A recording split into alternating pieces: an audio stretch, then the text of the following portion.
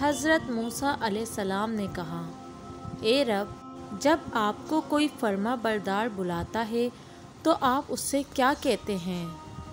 इरशाद हुआ, मैं कहता हूँ, लब्बेक। फिर उन्होंने पूछा, जब जाहिद कहता है, तब क्या फरमाते हैं?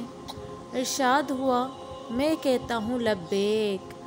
उन्होंने पूछा, जब रोज़ादार कहता है? इरशाद हुआ, मैं लब्बेक कहता हूँ। उन्होंने कहा, जब गुनागार कहता है, इरशाद हुआ, मैं कहता हूँ, लब्बेक लब्बेक लब्बेक।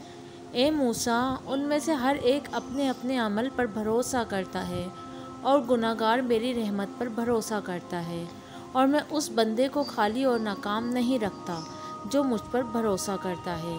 क्योंकि मैंने कहा है, जो अल्लाह पर भरोसा करता है, वो उसे काफ़ी होता है। नबी सल्लल्लाहु अलैहि वसल्लम ने फरमाया है, बेशक अल्लाह और उसके फरिश्ते उन लोगों पर रहमत भेजते हैं जो अपने गुनाह का एतराफ़ कर लेते हैं।